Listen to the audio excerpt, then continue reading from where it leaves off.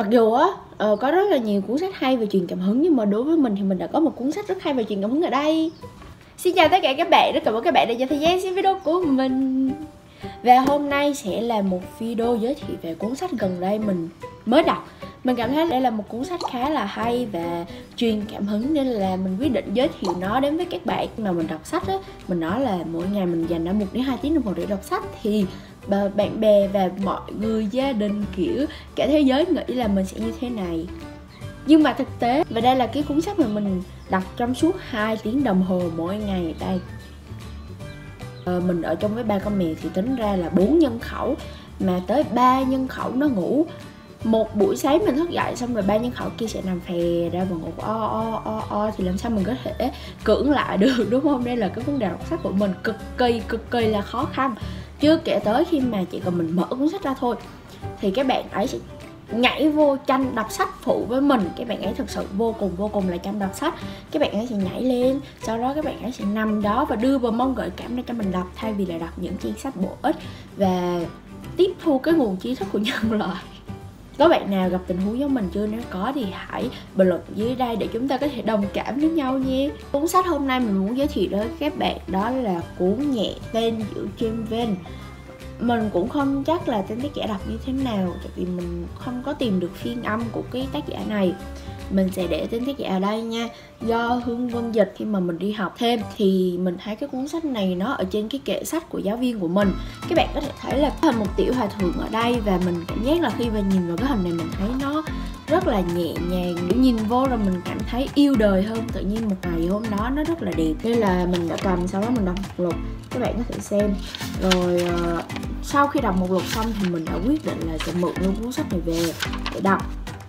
Thật ra thì một con đổ nghèo khởi như mình muốn đọc sách thì vấn đề mượn mật là một chuyện rất là bình thường. Cơ bản về nội dung của cuốn sách này khá là hay. Từ cái tên này cho mình thấy là đây là một cuốn sách khá là nhẹ nhàng, kiểu những triết lý trong đạo phật mà truyền đạt một cách rất là dễ hiểu chứ không có khó hiểu như là một số cuốn sách trước đây mình đã từng đọc về Phật giáo các bạn có thể đọc nó rất là bình thường mình khuyến cáo mọi người là không nên nghĩ nó là một cái gì đó quá cao siêu. Mình đọc xong thì mình sẽ tiếp nhận được một cái gì đó nó ghê gớm hay là gì, mà là một cuốn sách rất là nhẹ nhàng và dễ thương. Và các bạn có thể đọc nó vào những lúc nào đầu tiên? Khi mà buổi sáng thức dậy vừa nhâm nhi một cốc cà phê nóng, vừa đọc sách. Khi các bạn đang gặp một cái vấn đề nào đó phiền muộn thì các bạn hãy lật ra một cái trang bất kỳ ở trong cuốn sách này để đọc, chứ không cần phải lựa một lục ra hay gì hết. Thì các bạn sẽ tự nhận thấy mình ở trong đó. Các bạn đang phân vân không biết là lựa một cái quyển sách nào đó làm quà phù hợp cho bạn bè và người thân của mình. Và cái cuốn này mình nghĩ là mọi lứa tuổi đều có thể đọc được, rất là đơn giản, dễ hiểu, nhẹ nhàng mình nghĩ là từng giai đoạn tuổi khác nhau thì các bạn đọc các bạn sẽ có những cái trải nghiệm khác nhau nhưng mà cơ bản thì nó đều rất là hay và hợp lý. Ờ, tác giả là một vị Phật sống của chùa Chaga Tây Tạng Năm 13 tuổi Phật sống theo học tại Học viện Phật giáo Quy y làm đệ tử của Pháp Vương Thụ học văn tư tu dưới sự chỉ giáo của Pháp Vương cho tới lúc Pháp Vương viên tịch sau đó, Ngài tiếp tục theo học với Pháp Vương khác hoàn thành tu tập tại chùa Á Thanh Ô Kim Thiền Lâm đạt được truyền thừa và quán đỉnh. Hơn 10 năm qua, Phật sống bôn ba khắp các ngôi chùa lớn nhỏ Tây Tạng để cầu Pháp xây chùa tu hành. Ngài tích cực tham gia các hoạt động truyền bá giáo pháp Phật Đà, sự hưng thịnh trong nền văn hóa dân tộc cũng như công cuộc phát triển giáo dục tại các vùng miền xa xôi hiệu lắm. Thì uh, mình mong là các bạn có thể nghe được tiếng của mình. Còn đây là thực tế một khi mình đọc sách chỉ cần mình mở cuốn sách ra thôi thì một cuốn sách khác sẽ đè lên đó và mình bắt đầu mình phải ngồi đọc cái cuốn sách khác chấm hư về bộ sách này thì bộ sách sẽ có bốn cuốn. Mình sẽ để thông tin của bốn cuốn sách ở đây, bao gồm mỉm cười, dù cuộc đời là thế chớ vội vã dù dòng đời xô ngã hồn nhiên sống như thiền và nhẹ tên nhẹ trên bên và cuốn sách mình có được là nhẹ tên nhẹ trên bên. Ờ, giáo viên của mình có review là có có cả bốn cuốn của cái bộ này nhưng mà cái cuốn đầu tiên là miệng cười dù cuộc đời là thế thì nó sẽ là cái cuốn mà để lại nhiều ấn tượng nhất và hay nhất.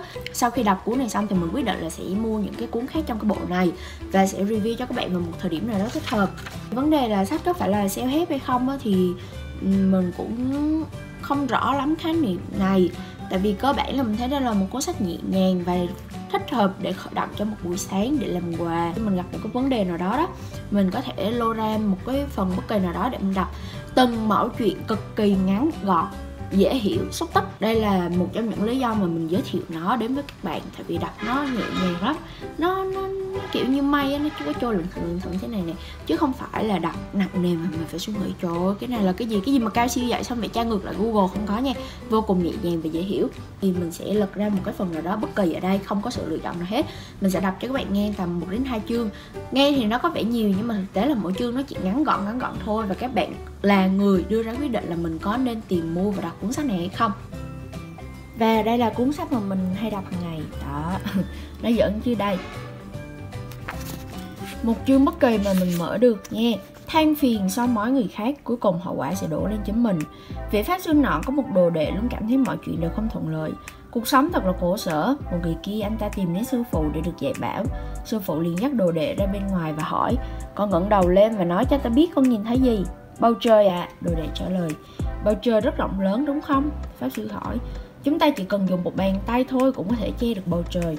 Đồ đệ không hiểu sư phụ nói gì. Pháp sư liền lấy tay che mắt đồ đệ rồi hỏi, giờ con có nhìn thấy bầu trời không? Rồi giải thích, kỳ thực, những nỗi đau khổ và khó khăn trong cuộc sống cũng giống như đôi bàn tay này mới nhìn thì thấy rất nhỏ bé, nhưng nếu con không thể buông bỏ, thậm chí kéo nó lại gần mình để nhìn cho rõ, giữ lại trong lòng thì nó sẽ giống như bàn tay này có thể che lấp cả cuộc đời con. Và con sẽ không nhìn thấy những ánh dương trời xanh mây trắng ráng chiều nữa. Rồi để lập tức tỉnh ngộ. Không thể vì những trắc trở như cuộc sống mà tự che đi cả cuộc đời mình. Ánh sáng trái tim chiếu rọi vạn vật trên thế gian. Tâm ta như thế nào thì thế giới sẽ như vậy. Trong tim tràn ngập ánh dương thì thế giới sẽ rực rỡ trong tim đầy sự khoan dung thì thế giới sẽ được an bình. Trong tim là sự trang nghiêm thì thế giới sẽ trang nghiêm. Đừng tạo thói quen hay than phiền, càng không nên luôn soi mói người khác. Những thói quen xấu đó cuối cùng sẽ quay trở về với chính nội tâm của ta. Một thời gian sau, người đồ đệ đó lại cho rằng đối nhân xử thế thì không cần câu nệ tiểu tiết, nên những chuyện nhỏ thì không quan trọng. Một ngày, pháp sư mới hỏi đồ đệ, mưa phùn và mưa lớn thì kiểu mưa nào dễ ướt áo hơn? Đương nhiên là mưa lớn rồi ạ. À. người đồ đệ trả lời. Pháp sư lắc đầu thực tế trong cuộc sống, mưa phùn là dễ làm ướt quần áo hơn, chứ không phải là mưa lớn. Người đồ đệ cảm thấy khó hiểu. Sao lại như vậy được à mưa lớn thì lượng nước nhiều hơn, mưa nhỏ lượng nước ít hơn. Sao lại dễ làm ướt quần áo được chứ? Pháp sư lại trả lời, bởi vì mưa to nên mọi người ai cũng cảnh giác. Mang theo giường che, không thì cũng kiếm chỗ trú mưa. Nhưng nếu là mưa nhỏ hoặc là không nhận ra, hoặc là không quan tâm chủ quan cho rằng mưa nhỏ như vậy không thể nào ướt được và rồi quần áo bị ướt lúc nào không hay trong cuộc sống hàng ngày, mọi lời nói hành động của ta, cho dù là một biểu cảm đơn giản, một câu nói cũng giống như trận mưa phùn. Xem ra thì rất nhỏ nhưng nếu ta không để ý, không cảnh giác thì sẽ khiến cho người khác bị tổn thương. Đồng thời nó sẽ âm thầm ảnh hưởng tới cuộc đời ta, khiến ta gặp phải kiếp nạn và tổn thất.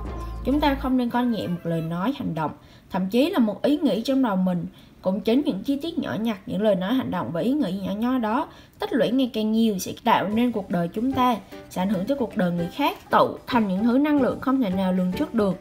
Nó sẽ tạo nên đường đời ta. Vậy sao có thể coi thường cho được chứ? Ta ghi thứ gì trong tim mình thì nó sẽ thể hiện thứ đó trong thế giới mà ta đang sống trong tim đầy ắp những ánh dương, cuộc đời ta sẽ tràn ngập ánh sáng.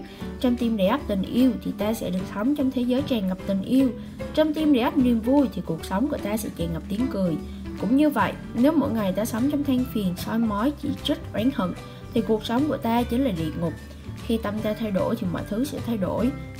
Một niệm đưa tới thiên đường, một niệm cũng có thể dẫn xuống địa ngục. Tâm ở đâu thì sự viên mãn sẽ ở đó. Ở đây là cái hình minh họa cho mỗi chương. Nhìn cảm thấy rất là nhẹ nhàng và kiểu thoải mái á mọi người. Đây là tình trạng mỗi khi mình đọc sách. Hay du. Đi ra đi. Ta cần phải đọc sách và tiếp thu nền văn minh nhân loại. Cảm ơn các bạn đã dành thời gian xem video của mình. Nhớ like và đăng ký kênh để chúng ta có thể gặp nhau nhiều hơn nữa. Và nhớ cái chuông nghe Tại vì mình sẽ ra video mới vào mỗi tuần, và mọi đóng góp ý kiến của các bạn đều giúp cho kênh của mình ngày càng một phát triển và hoàn thiện hơn, và rất mong nhận được đóng góp ý kiến của các bạn. Cảm ơn các bạn và chân thành cảm ơn các bạn nha. Bye bye mọi người.